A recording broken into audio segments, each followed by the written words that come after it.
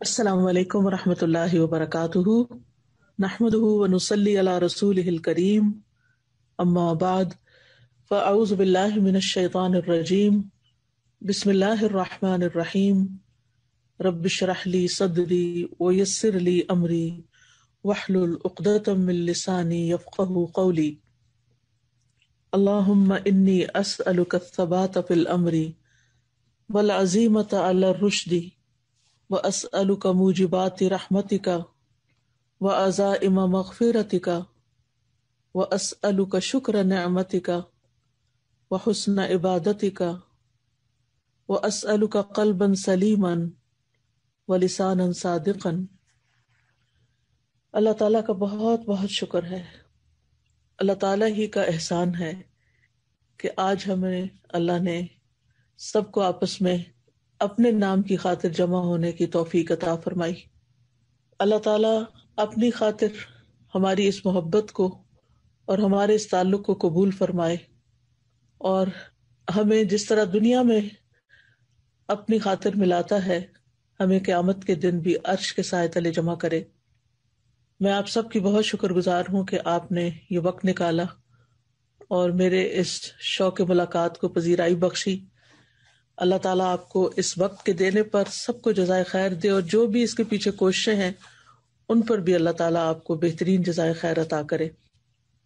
अल्लाह ताला से हम सब का एक ताल्लुक है। ये अल्लाह का एहसान है कि उसने हमें मुसलमान पैदा किया और हम सब उस पर ईमान रखते हैं, उसकी इबादत करते हैं, उससे दुआएँ करते हैं, उसकी खातिर बहुत कुछ करते हैं। कभी कभी सोचते हैं कि वाकई अल्लाह ताला को ये चीज़ें पसंद भी आ रही हैं कि नहीं? और हम कहाँ खड़े हैं? और क्या जो हम कर रहे हैं वो काफ़ी है हमारे लिए? या अल्लाह सुबहान ताला को हमसे इससे ज़्यादा भी कुछ मतलूब है? या हमें कुछ और भी करना चाहिए? करना चाहिए तो क्या करना चाहिए? कैसे करना चाहिए? और क्या हो सकता है? क्योंकि ज़िंदगी तो एक एक दिन करके ख़त्म होती चली जा रही है। और एक दिन हम अपने रब के सामने जा खड़े होंगे। उस दिन का आना भी यकीनी है, उस वक्त का आना भी यकीनी है। और ये बिल्कुल सच्ची बात है। उस वक्त हमारी क्या हालत होगी, हमारी क्या पोजीशन होगी, वो कैसी जगह होगी, हमारे अमाल कैसे होंगे, क्या हमारे पास कोई ऐसी चीज़ होगी दिखाने के लिए जो वाकई अल्लाह ताला को खुश कर दे। अल्लाह सुबहान ताला हमें इस छोटी सी ज़िंदगी में वाकई वो करने की तोफीक दे, जो उस मुलाकात में हम अल्लाह सुबहान तला की रजा हासिल कर सके। दुनिया में जब किसी से मुलाकात करनी होती है तो हम कितनी तैयारियाँ करते हैं। इसी मीटिंग को मिसाल ले लीजिए, जिन लोगों ने तैयारी की। कुछ लोगों ने तो टेक्निकल प्रिपरेशन की। कुछ लोगों ने टीम को इकट्ठा किया, सबको इन्फॉर्म किया। कुछ ने इनिशिएटिव लिया। कुछ ने दूसरों को इन्फॉर्म किया। मुख्तलिफ़ तरह की तैयारियाँ हुई ताकि हम भरपूर तरीके से मीटिंग कर सकें और इस मीटिंग को हम कामयाब बनाएँ। ये मीटिंग तो एक थोड़े से वक्त के लिए है और फिर एक इंसान के साथ है जो हमारी तरह का है। तो वो मीटिंग और वो मुलाकात जो अल्लाह सुबहान तला के साथ है, उसकी तैयारी के लिए हम कितने फिक्रमंद होते हैं और वाकई जनरली उस मीटिंग की कामयाबी के लिए कितनी कोशिश करते हैं। हम सबको इसके लिए फिक्रमंद होने की ज़रूरत है। अल्लाह सुबहान ताला हमें उस दिन रसवा ना करे। वो हमसे उस दिन नाराज़ ना हो। वो हमसे गज़बनाक ना हो। वो हमारे गुनाहों को ढांप दे। हमारी कोताहियों से दरगुजर फरमाए। तो जो कुछ भी हम कर रहे हैं, उसका मकसद और उसकी गर्ज यही होनी चाहिए कि उस मुलाकात में हमने इस तरह अल्लाह के सामने पेश होना है और अपने अमाल इस तरह पेश करने हैं कि अल्लाह सुबहान ताला देखे तो खुश हो जाए और कहे कि जा ए बंदे, मैं तुझसे राज़ी। रदी अल्लाह अन रदू अन, रादियतम मरदिया। तो इसके लिए हम जो कुछ भी कर रहे हैं, उन चीज़ों में हमें कुछ चीज़ों को बहुत अहमियत देनी है अपनी ज़िंदगी में। वो चीज़ें आप कर भी रहे हैं। लेकिन सिर्फ़ याद दहानी करानी है कि इखलास के साथ, मोहब्बत के साथ कुछ चीज़ों की तरफ़ मज़ीद तवज्जो की ज़रूरत है। और जब इंसान अल्लाह सुबहान ताला से मोहब्बत करता है या अल्लाह की मोहब्बत में काम करता है तो यकीनन फिर उसको अल्लाह की मोहब्बत भी हासिल हो जाती है। कौन सी वो चीज़ें हैं जिनके ज़रिए हम अल्लाह सुबहान ताला की मोहब्बत हासिल कर सकते हैं? उनमें सबसे पहली चीज़ अल्लाह ताला का कलाम है। इस दुनिया में अल्लाह के कलाम यानी कुरान मजीद जैसी कोई चीज़ नहीं। कोई और चीज़ नहीं, क्योंकि बाकी हर चीज़ मखलूक है। और कुरान मजीद जो है, ये अल्लाह ताला का कलाम है। तो फिर इस जैसी तो कोई चीज़ हो ही नहीं सकती ना। अल्लाह के कलाम के बराबर तो कोई चीज़ नहीं हो सकती। और जब हम कुरान पढ़ते हैं तो एक तरह हम ऐसे मकाम पर होते हैं कि जैसे अल्लाह ताला हमसे हम कलाम हो रहा होता है। वो हमसे बात कर रहा होता है। हज़रत हसन बिन अली रज़ी अल्लाह कहते हैं कि तुमसे पहले जो लोग थे, वो कुरान को अपने रब की तरफ़ से पैगाम समझते थे।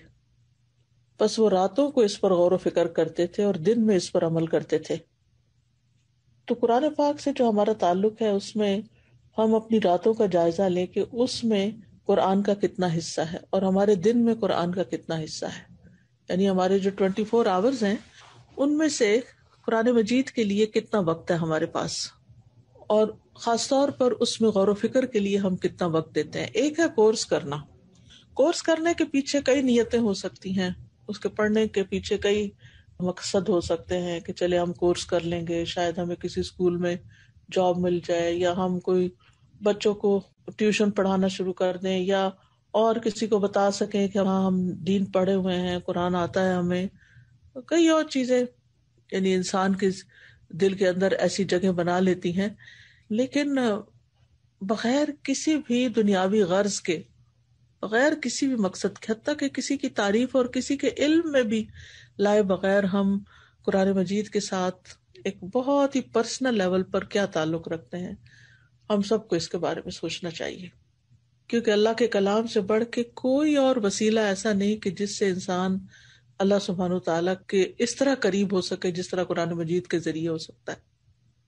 इब्न रजब कहते हैं, नफली अमाल में से अजीम अमल जिसके ज़रिए इंसान अल्लाह ताला का तकर्रब हासिल कर सकता है, वो कुरान की कसरत से तिलावत करना है इसको गौर व फ़िक्र, तदब्बर और खूब समझ कर सुनना है।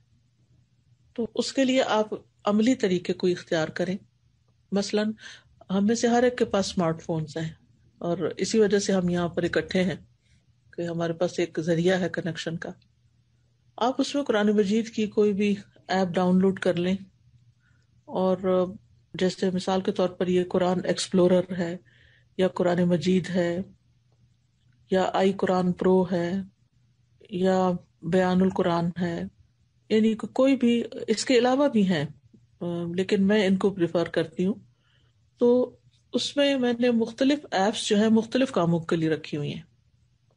जैसे कुरान एक्सप्लोरर जो है, वो मेरी डेली रजिस्ट्रेशन सुनने की ऐप है। क्योंकि वो फिर जहाँ मैं ख़त्म करती हूँ, फिर अगले दिन वहीं से शुरू करती हूँ। तो इस तरीके पर करते करते कुरान मजीद मुकम्मल हो जाता है, जो सुनने वाला होता है। ये पेड ऐप है, लेकिन ये है कि बहुत अच्छी किरात है इसमें और बहुत अच्छा काम करती है। और, उसमें एक दिन के एक मखसूस वक्त में, यानी जैसे मैं सुबह के वक्त अपनी चाय बनाती हूँ तो उस वक्त मैं चाय बनाने और पीने के दौरान साथ साथ सुनती रहती हूँ और ख़ास तौर पर जब मैं बैठ के चाय पी रही होती तो आपको पता है चाय पीने में थोड़ा सा वक्त लगता है ना। तो वो वक्त अगर हम इधर उधर की बातों में या टेक्स्ट मैसेज चेक करने में या करने में, या लोगों की बातें करने में किसी से बातें करने में गुजारें तो उससे बेहतर है कि हम, ये नहीं, मेरे पास ये टाइम है, आपके पास कोई टाइम हो सकता है, आप अपने हिसाब से देख सकते हैं। तो उसमें यह है कि बाज आयतें इस अजब तरीके से समझ आती हैं, क्योंकि बहुत ही एक यकसुई का और एक एंजॉयमेंट का भी टाइम होता है। जैसे आमतौर पे हम अगर किसी के साथ मिलके चाय पिए, दो लोग हों फ्रेंड्स के साथ हों, घर वालों के साथ हों तो उसका मज़ा और होता है और अकेले कहीं चाय का कप लेके बैठे में तो वो और तरह की चाय होती है। तो जब कुरान मजीद के साथ आप बैठ के सुनते हुए आप साथ चाय की सिप सिप ले रहे होते हैं तो आप एक्टिव और फ्रेश भी होते हैं, बिल्कुल अलर्ट होते हैं और उसके साथ ये है कि आप कुरान मजीद सुन रहे होते हैं। तो अल्हम्दुलिल्लाह उससे फिर ये कि कनेक्शन बन रहे होते हैं। फला सूरत में तो ये आयत इस तरह आई है, इस सूरत में यहाँ इस तरह है। और फिर चूँकि सुनते चले जाते हैं ना तो वो फिर दोबारा रिपीट होने लगता है, फिर एक दफ़ा खत्म हो जाता है, फिर दोबारा शुरू हो जाता है। तो इस तरह, यानी गौर फ़िक्र के साथ जो सुनना है, ये इंसान को अल्लाह ताला के करीब करता है। ये मेरा कौल नहीं है, ये इब्न रजब का है। ठीक है ना?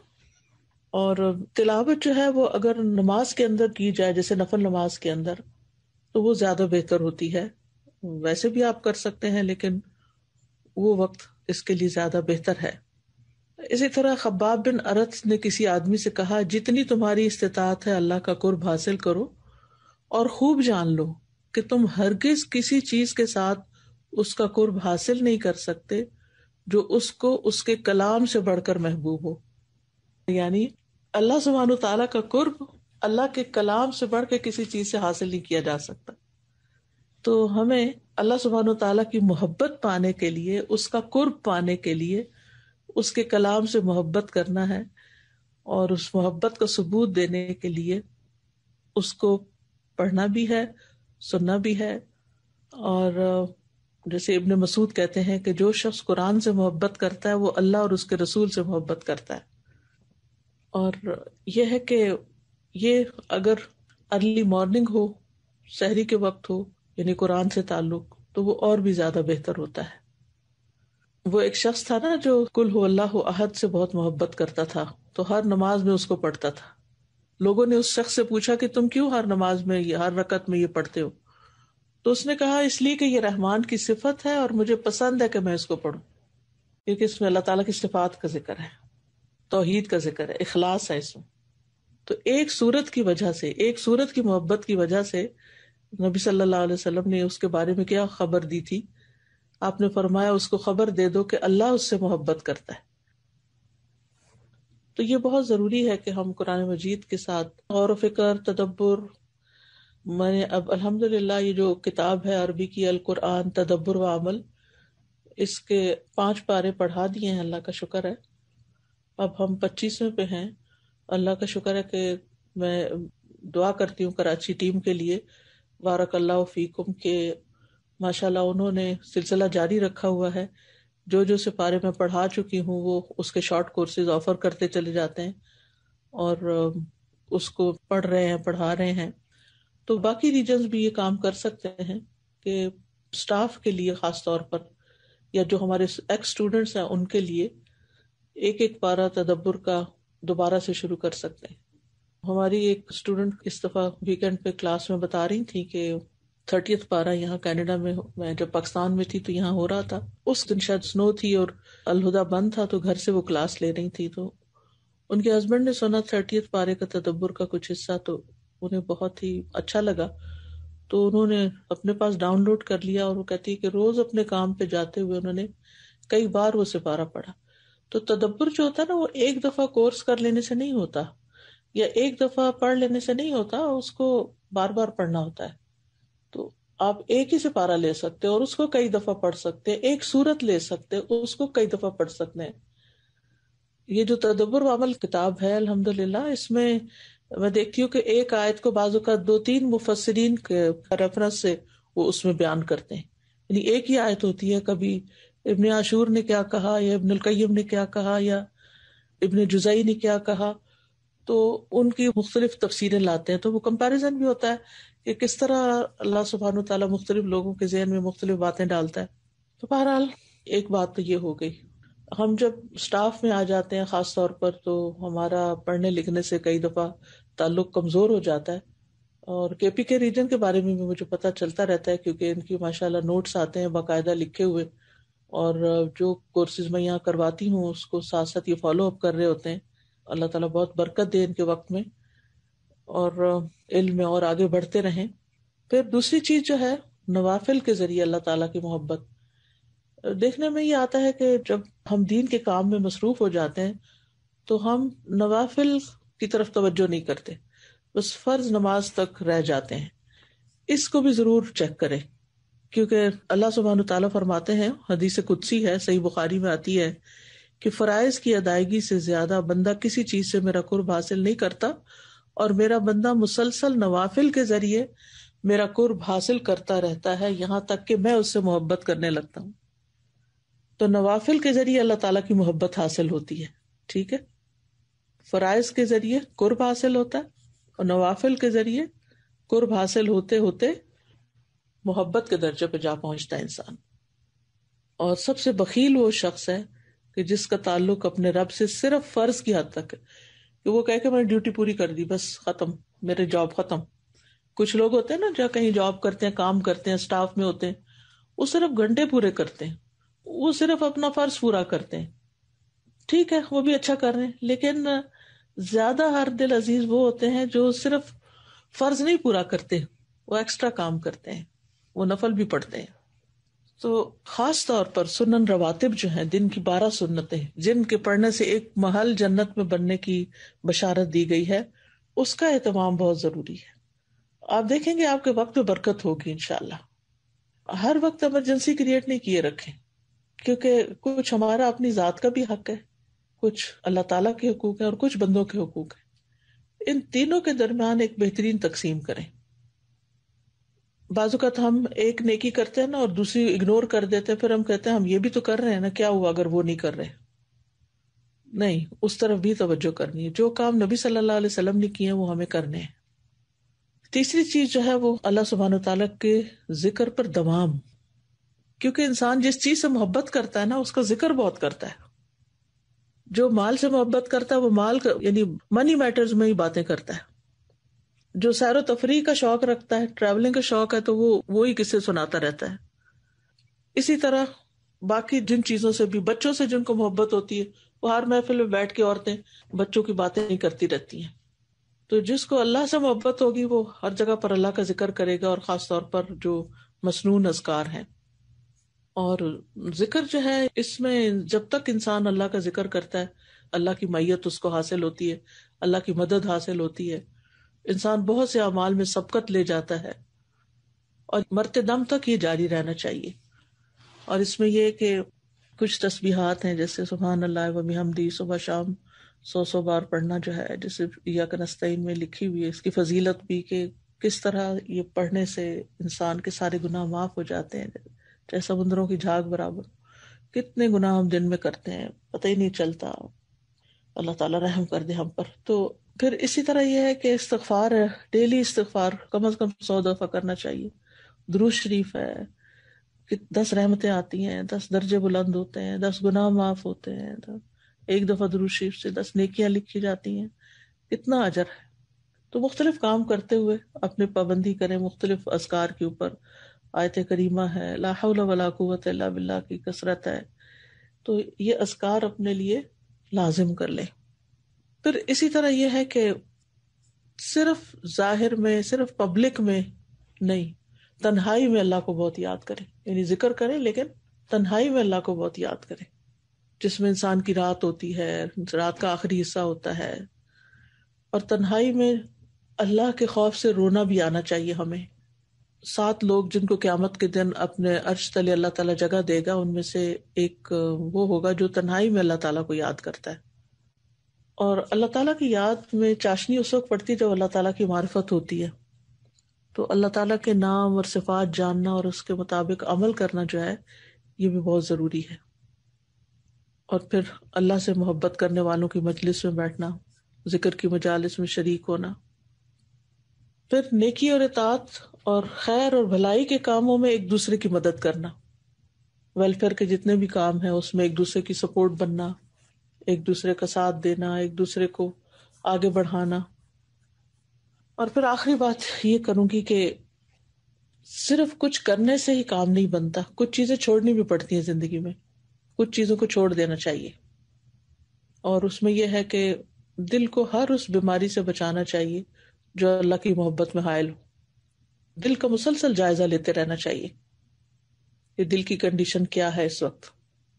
खास तौर पर रियाकारी खुद पसंदी दिखावा। ये ऐसे चोर हैं जो अंदर घुस जाते हैं, पता भी नहीं चलता कितनी तबाही कर गए इसी तरह लोगों से बुग्स हसद रखना। कोई पता नहीं ज़िंदगी कितनी है, कब चले जाना है। क्या अपने सीने में बुग्स और हसद लेके जाएँगे? नफरतें लेकर जाएँगे। इसी तरह गुरूर और तकबर अपने आप को बड़ी चीज़ समझना। और जितने भी हराम काम है, ये तो चंद चीज़ें हैं, यानी दीन का काम करने वालों के अंदर खास तौर पर ये चीज़ें आ जाती हैं। लेकिन यह है कि जितनी भी ऐसी चीज़ें हैं जो इंसान के नेक अमाल को बर्बाद करने वाली हैं, उन सब चीज़ों से बचना जो है वो बहुत ज़रूरी है। क्योंकि जब तक इलाज के साथ परहेज ना किया जाए, उस वक्त तक बात नहीं बनती। तो अल्लाह सुबहान तला से दुआ है कि अल्लाह ताला हमें वाकई कुछ करने की तोफीक दे। इस छोटी सी ज़िंदगी में हम उसको राज़ी कर जाएँ। हमें तोफीक दे कि हम गुनाहों के करीब भी ना जाएँ। क्योंकि जब इंसान गुनाहों के करीब जाता है तो फिर उनमें पड़ भी जाता है। अपने दिलों को मरने ना दें। अल्लामा इब्नुल जोजी की एक किताब है, सैदुल खातिर। उसमें वो कहते हैं कि मैंने अक्सर उलमा और जाहिदों के हालात में गौर किया। तो उन्हें ऐसी सजाओं में गिरफ़्तार पाया जिनका उन्हें एहसास न था। और उनको बहुत सी सजाएँ तलब जाह की राह से पहुँचती हैं। यानी उहदा और मकाम हासिल करने की ख्वाहिश। चुनाचे अगर उनके आलिम पर या उनके बड़े पर गिरफ्त की जाए, किसी गलती की नहीं उन्हें गलती बताई जाए तो वो गजबनाक हो जाता है। और उनका जो बायस होता है, वो अपनी फनकारी और रियाकारी करता है और जहद के नुमाइशी काम करता है, यानी कि मैं बड़ा जाहिद हूँ, नेक हूँ कहते हैं कि उनकी पहली सजा ये है कि मखलूक में मशगूलियत के सबब हक ताला से कटे हुए यानी लोगों के अंदर, कामों के अंदर इतने मशगूल हैं कि अल्लाह ताला से ताल्लुक जो है वो बहुत ही कमज़ोर है। और एक मख्फी सजा यह है कि मुनाजात की शीरीनी और बंदगी की लज्जत से महरूम है। यानी इबादतों में उनकी लज्जत नहीं है। ये सजा है। तो हम सबको भी देखना चाहिए, अगर हमारी इबादत में लज्जत नहीं। हमें मज़ा ही नहीं आता कुरान पढ़ के या सुन के, या उस तरफ़ दिल ही नहीं चाहता कि किसी ऐसी मजलिस में शरीक हो, या उस मजलिस में बैठ के हमारा दिल नहीं लगता। तो फिर हमें ज़रूर सोचना चाहिए कि हम अल्लाह सुबहान तला की मोहब्बत पा रहे हैं या फिर किसी सजा का शिकार है। कहते हैं हाँ कुछ मोमिन मर्द और औरतें ऐसी हैं जिनकी वजह से अल्लाह ताला इस ज़मीन की हिफाजत फरमाते हैं। उनके बातिन ज़ाहिर जैसे हैं। बल्कि और ज़्यादा रोशन है। ज़ाहिर से भी बातिन रोशन है। उनके राज अलानिया जैसे हैं, बल्कि और पाकिजा हैं।